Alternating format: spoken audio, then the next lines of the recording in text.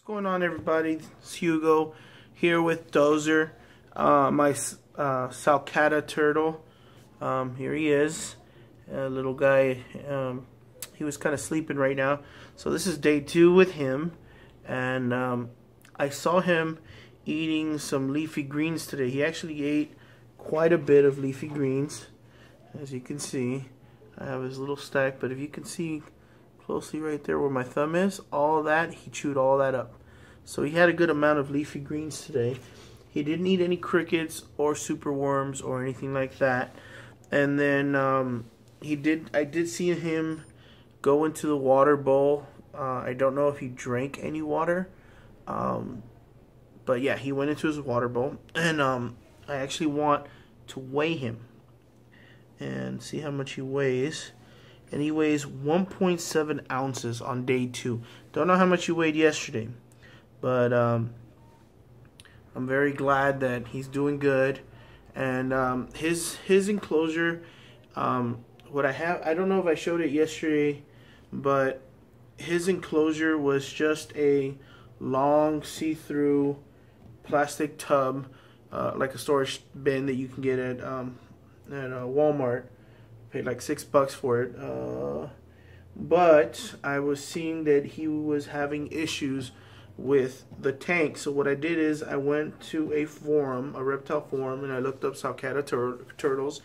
And according to what they're saying is that these type of turtles, um, if you put them in an enclosure and they can see through something, they're going to continue to try to get through that, either digging or knocking something over. And when he gets older, um, he'll he can knock over quite a bit um, from when it, they get pretty strong. So um, what I did was I went down to the um, dollar dollar store and I bought a black container for a dollar.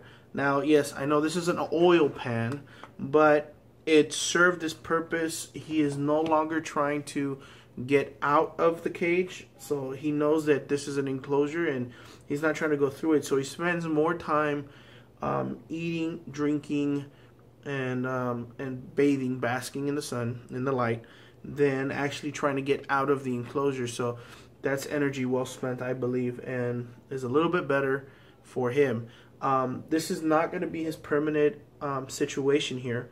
Uh, I am actually going to build him out of wood. Um, probably a container about the same size as the plastic tub that I got him. Uh, and then put all the lights in there, put in some uh, some hide boxes and stuff like that.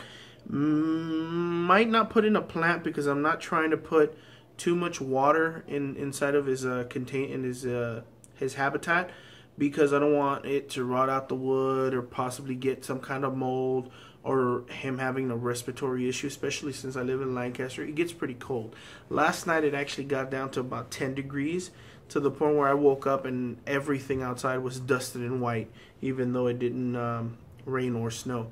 So, uh, but it was a very nice warm temperature in here for them with their lights.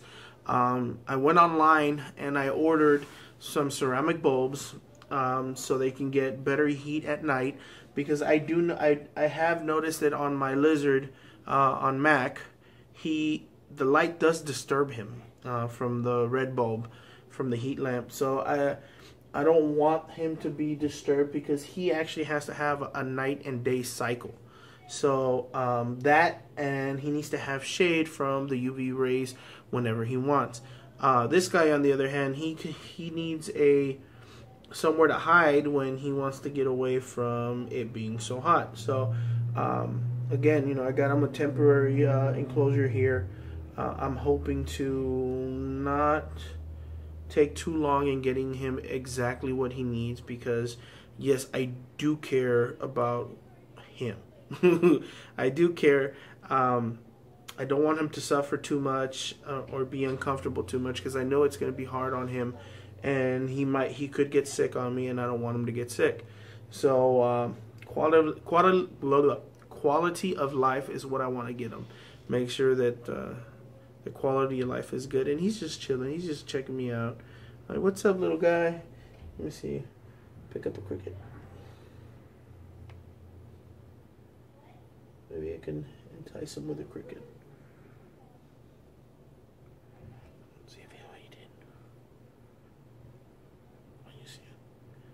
Oh, yeah, you see it. He saw it. Get it, get, it, get it. Oh. He's looking dead at it.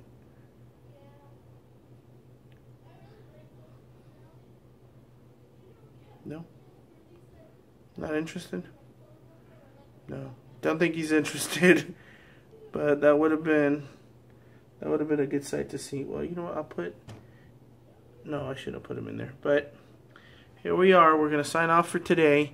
Uh, day two, he, he weighed 1.7 ounces today on day two. Um, I don't know exactly when he was born, so I can't, I don't know, but I'm going to count him from yesterday, and yesterday being day one. Uh, today's day two, and we'll see how much he weighs in day three. Hopefully he can gain some uh, some weight. Um, as far as diet's concerned, um, so far, I'm only giving them some leafy greens that I had here at home. I've had, I haven't had too much time the last couple days to get them exactly what they needed. So I'm doing my best with the time that I have. Um, right now it's kind of late, so I can't really go anywhere to, to get them what they need.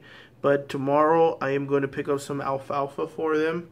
And uh, alfalfa and I, forgot what the other one was.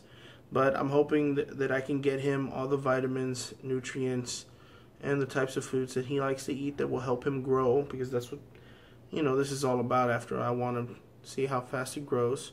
Uh, you guys are going to watch him grow with me which is awesome. And yeah.